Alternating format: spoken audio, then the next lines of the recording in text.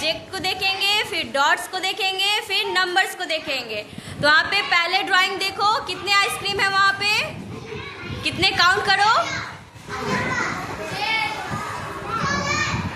Three फिर three dots कहाँ पे है? काउंट करके देखो। हाँ। फिर नंबर कहाँ है? थ्री नंबर हाँ तो चलो उसको उससे मैच करो। हाँ पहले डॉट्स के पास ले जाओ हाँ गुड। फिर नंबर थ्री के पास। वेरी गुड श्रीधर बर्ड्स को काउंट करो। कितने बर्ड्स है वहाँ पे? कितने बर्ड्स हैं? फाइव और फाइव डॉट्स को देखो। हाँ।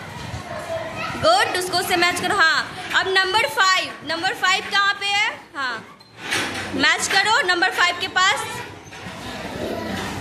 Uh, very good.